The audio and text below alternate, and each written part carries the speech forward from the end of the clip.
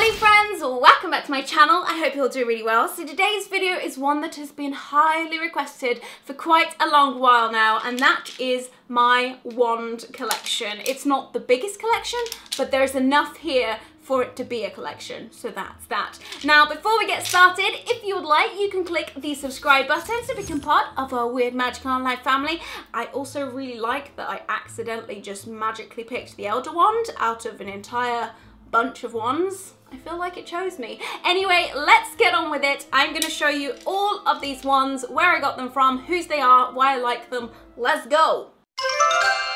Okay, so this wand is really special because I went to Orlando, Florida, and it was the first time that I ever went to the Wizarding World of Harry Potter, and I went to Diagon Alley and I headed straight for Mr. Ollivander's shop, and I got chosen, which was so exciting. I nearly wet myself. But yes, this is the wand that chose me. It's an interactive wand, so it has this is going to take some of the magic out of it, but it has a sensor in the end, so when you're at the theme park, you can actually do magic around the park, which is super, super cool. But yes, this is the one I got. I like it. It's got a really nice sort of golden handle, and it's just I like it. I feel as though it suits me very well. So this is my first and only wand that chose me. Moving on to some of the character wands from Harry Potter. So I have to start with this one. This is Harry Potter's wand and this one's really special because this was the first in my entire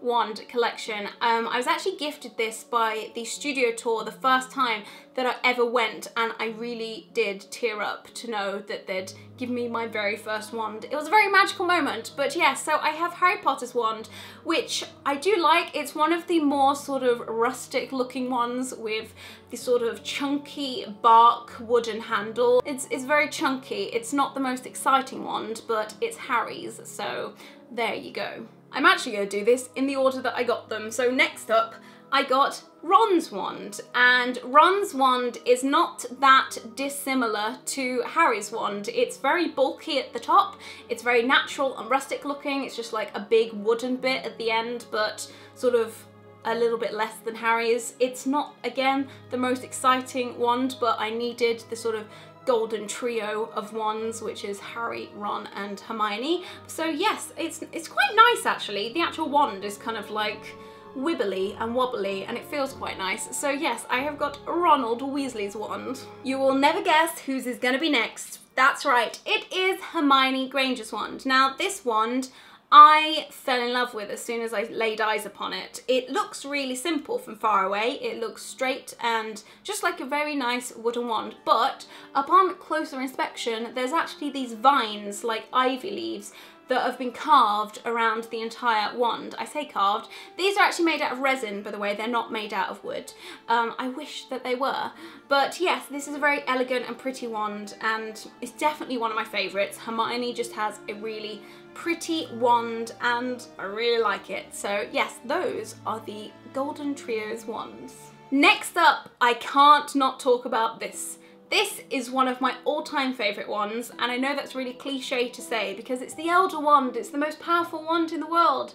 But look at it. It's long, it's dainty, it's really thin, and it's just fun with all these little bubbles. I just think it's very fun to hold. Like, I feel magical holding this. So yes, this is definitely one of my favourites. To be fair, they're all my favourites because I bought them all, but this one is just exquisite. I really, really like it. Good old Dumbledore.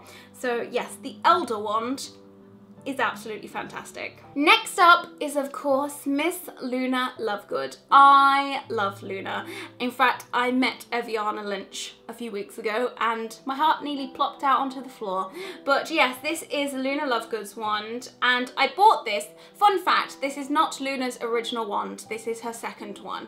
But I don't think you can get hold of her first one design very easily. So I have this one. Now I bought this one because it looked to me like a tulip flower. Now someone told me it was meant to be something else, but I don't remember. So if you know, let me know down in the comments. But I've always viewed it as a tulip and I really, really like it. It's just very feminine and it's quite a small wand as well. It feels really nice. So yes, I've got Miss Luna Lovegoods. Next up, is a Slytherin wand, which may surprise some of you guys since most of them so far have been Gryffindor, with the exception of Luna. Now, there is a reason why I bought this Slytherin wand, and that is because Alan Rickman passed away. I bought this after Alan Rickman sadly passed away to remember him. I just, I know what, I'll be completely honest here, his death really took me by surprise and I my reaction surprised me.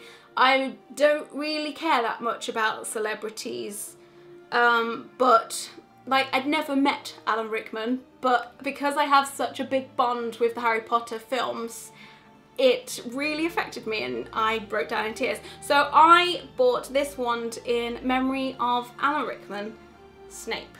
And you know what? It's a very nice wand. It's straight, black, and it's got some beautiful sort of decorative carving in the handle in two little chunks, kind of like a little totem pole. But yeah, so this is why I bought my very first Slytherin wand, which I do really like. I like this wand. Um, so yeah, that's that. I have three more in my collection and they all come from Fantastic Beasts rather than Harry Potter. So the first one I have to begin with is Newt's Wand and this was actually given to me by my friend Gary. He went to an event and I think, yes, he got this for me before they were ever released. So it was like one of the really early ones. It didn't even come in a box. It was that sort of early. So Newt's wand, it's very simple. It's very sort of rustic and wooden and he wanted it to be really simple to reflect that he loves being in nature and looking after animals and that's why the design is what it is. And then in here, I think it's mother of pearl? In there. Sue me if I'm wrong, but yes, that's what the silver bit's meant to represent. So yes, I really do like his wand. It, it kind of looks like a little flute, but it's very, very dainty. I like that it goes from thick to really thin. Um, yes, I like Newt's wand. I really love Newt and I can't wait for the next Fantastic Beasts film. It's going to be such a long wait. Next up is probably my favourite out of the Fantastic Beast character ones, and you will see why. Um, look at it. It's beautiful. This is Queenie Goldstein's wand, and this is just beautiful. If I had to pick out of all of these wands to have one that would be like me, it would be this one. Um, it's black, and that's not where the fun is. The handle is where the fun is. This is like a beautiful pearl shell and it's got like this blue tone in it and it's just so pretty. And it also has like this gold sort of collar crest thing there as well, but it's just so lovely. Like, it's just magical. This one feels magical because of the pearlness of it, the pearlescence. Um, it's very, very nice and yeah, one of my favourites. I told you, they're all my favourites. Like, this one's my favourite. No, this one is, that they're all my favourites. Now, my final and last wand from Fantastic Beasts and in my entire wand collection is this one. And this one belongs to the President, Seraphina Picquery, I believe her name is. Oh, sorry, I forgot that wrong. Um, yes, so this is her wand. Now, I really like this because it looks really modern. In fact, all of the Fantastic Beasts and Where to Find Them character wands look more modern than the ones that you'd find in Harry Potter, which is really interesting because Fantastic Beasts and Where to Find Them was based in the 1920s and Hogwarts is like now. So I find it really fascinating that their wands look more modern and but I like it I love them a lot. This one's really nice because it looks like a big pink crystal and then it's got like a metal sort of choker around it. It's really nice. I like it a lot. Um I bought it because of the pink handle.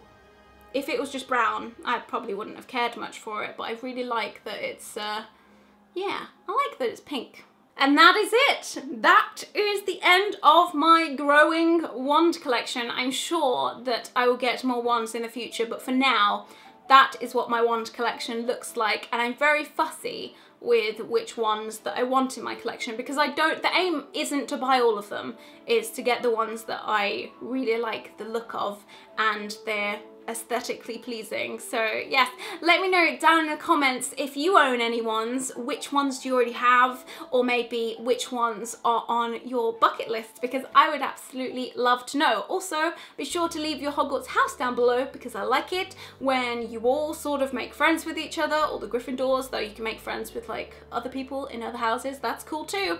But yes, on that note, I'm going to go. I hope you're all doing really well. Thank you guys so much for watching and I will see you guys next time. Bye!